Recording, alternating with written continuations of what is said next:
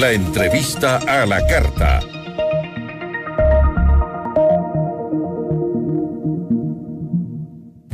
Está con nosotros eh, Claudia Vallas, ella es coordinadora general de la Universidad UTE, una de las universidades que ha hecho este anuncio justamente de que no va a poder solventar eh, las becas necesarias para sus estudiantes. Claudia, qué gusto, ¿cómo está? Muy buenas tardes. Buenas tardes, Gisela. Muchas gracias por la entrevista. Claudia, entiendo que este, eh, pues, eh, estas universidades recibían un monto que venía eh, de parte del IVA, ¿no? que iba justamente asignado para que las universidades puedan otorgar becas a alumnos de bajos recursos, que en un momento fue el 30% y que ahora es del 0%, además de que también el Consejo de Educación Superior CES resolvió disminuir en más de 12 millones de dólares el aporte destinado también a eh, estas, estas becas. Eh, ¿Cuál es exactamente la situación? ¿Este cambio en el presupuesto es ya irreversible o se puede hacer algo todavía? El 18 de agosto lo que aprobó el Consejo de Educación Superior fue el informe presentado por la CENESIP y específicamente este informe eh, contemplabas unos escenarios, como tú bien señalas, y allí eh, uno de los aportes que reciben las universidades particulares, que viene desde la ley del FOPEDEUCO, es lo que tiene que ver con el recaudo de una parte del IVA. Entonces, una parte del IVA va a las universidades públicas y a las universidades particulares. Lo que se aprobó fue el escenario que establecía pasar de un 3% que se venía recibiendo en el año 2020 de este fondo del IVA a un 0%. Y eso significa una reducción de un poco, mm, casi 13 millones de dólares. Ya. Ahora, este, entre estas universidades o instituciones educativas, entiendo que está la eh, Pontificia Universidad Católica del Ecuador, la Universidad Tecnológica Quinoxial UTE, la eh, Universidad de la SUAY, Universidad Católica de San Diego, eh, de, de, Santiago de Guayaquil, perdón, la Universidad Técnica Particular de Loja, Laica Vicente Rocafuerte, Católica de Cuenca y la Politécnica Salesiana. Y esto, según han informado cada una de estas instituciones, es un duro, duro golpe estas universidades reciben eh, realmente un cofinanciamiento del Estado porque esa era la, eh, supuestamente eh, la, el formato, digamos. Lo que establece la Constitución de la República del año 2008 es que las universidades, históricamente este grupo de universidades han venido recibiendo recursos del Estado.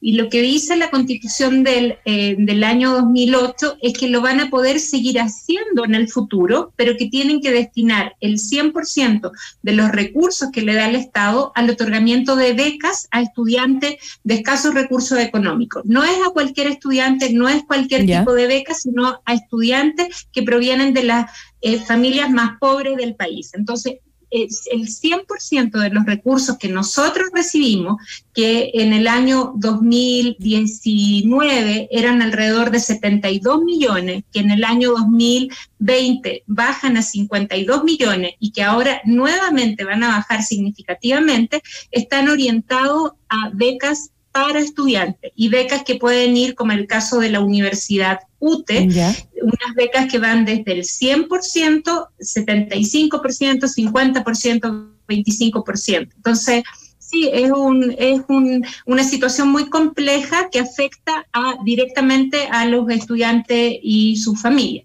Ahora, eh, Claudia, ¿cuántos estudiantes más o menos se calcula que serán afectados por esta reducción?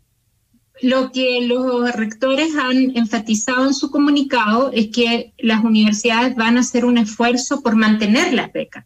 Eh, cuando tú entras a la universidad y singularmente si vienes con una, de una familia de recursos insuficientes, tú no puedes decirle un año sí vas a poder estudiar con beca y al año siguiente no. Entonces, en educación es muy importante mantener eh, las becas durante el tiempo que dura la carrera, si es que los estudiantes cumplen con los requisitos. Ahora, pero estamos, hablando, Claudia, de estudiantes que ya ingresaron anteriormente, que están cursando la carrera en este momento y que fueron becados, pero no que van a adquirir nuevos estudiantes, no van a aceptar nuevos estudiantes para que estudien con beca.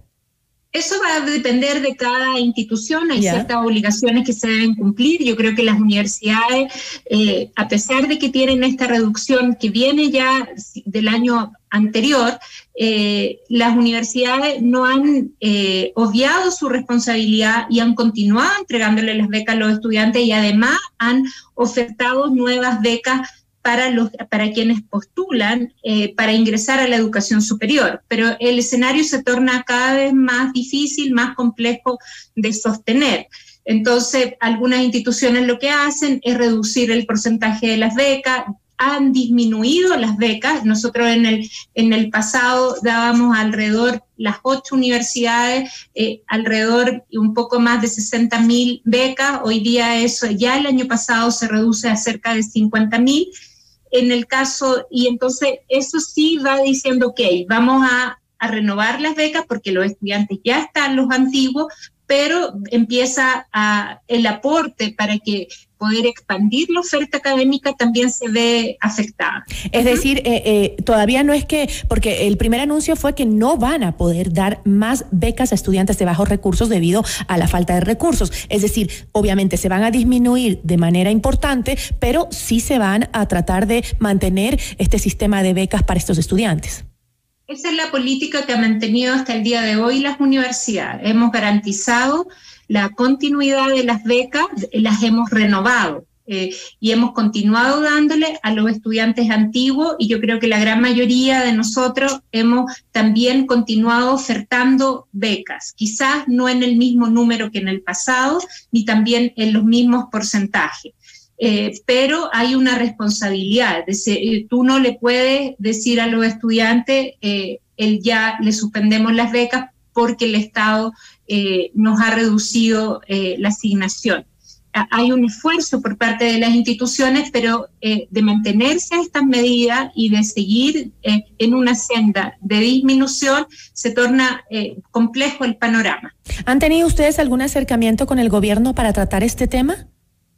Eh, tengo entendido que los rectores, bueno, en esta carta están haciendo un emplazamiento.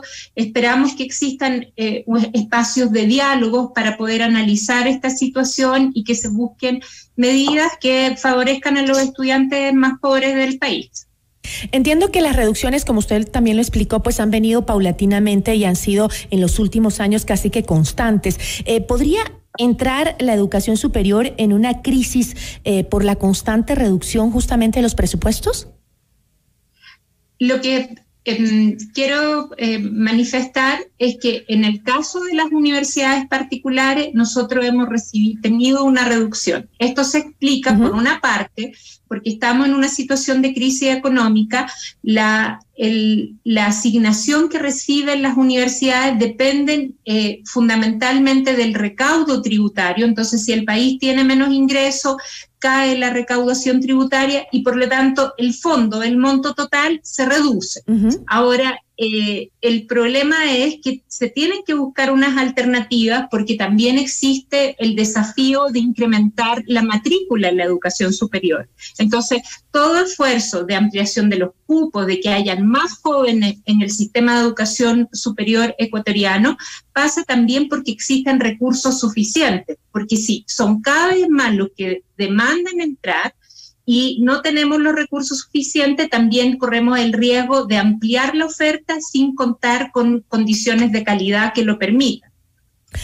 Y eh, claro, y, como usted lo dijo, bueno, eh, es, es, parte de esta crisis, ¿no? Todo lo que está pasando en el sistema económico del país y esto afecta, como vemos, a varios sectores y la educación, evidentemente, es uno de ellos. ¿Cómo, cómo van a garantizar ahora las universidades? Eh, justamente con este desfinanciamiento que no solo viene por parte del Estado, por esa ayuda que, que, tiene el Estado, sino que también por la deserción. Muchos jóvenes han tenido que desertar, aquellos que no tienen beca y que simplemente sus padres no pueden seguir pagando la universidad y han optado por o dejar la universidad y buscar alguna otra cosa que hacer para ayudar a la economía familiar. ¿Cómo van a garantizar las universidades justamente que esta crisis no afecte a la calidad educativa?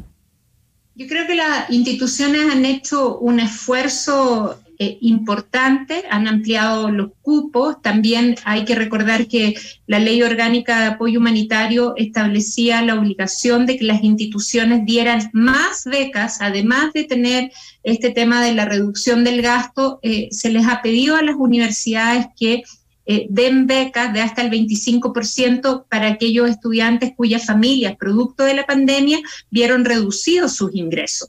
Entonces, eh, lo que estamos viviendo es que por una parte se les pide a las universidades y al sistema en su conjunto ampliar el número de cupos, ofrecer más ayuda en el contexto de la pandemia y por otra eh, hay una reducción de los recursos públicos destinados a la educación superior. Entonces, eh, la, ecuación no te cuadra. Necesita un mayor esfuerzo por parte del Estado para el financiamiento de la educación superior, que al final es una apuesta de largo plazo. Si Nosotros disminuimos la, la posibilidad que los estudiantes accedan a la educación superior, lo que estamos haciendo es hipotecar el futuro del país, porque no vamos a tener los profesionales que se requieren y si además eh, afectamos con la reducción la calidad de la educación superior, por supuesto, también eso afectará las posibilidades de desarrollo en el futuro. Como usted lo ha dicho muy claramente, Claudia, no encaja con eh, eh, lo que se planteó este gobierno al inicio, ¿no? Eh, una promesa de impulsar la educación superior para los jóvenes en el Ecuador y que al parecer, por lo que fuera, no, no encaja la situación que están viviendo ahora las universidades. Claudia, yo le agradezco muchísimo por habernos acompañado. Bueno, muchas gracias. Muy buenas tardes, Gisela. Gracias. Agradecemos a Claudia Vallas, ella es coordinadora general de eh, la Universidad UTE sobre la situación, la crisis que están viviendo en las universidades eh, del país por la falta de presupuesto y la posibilidad de no poder otorgar becas de estudios a eh, estudiantes de bajos recursos. Una promesa que hizo este gobierno justamente antes y después de haber llegado al poder. Importante que, que la cumpla, ¿no?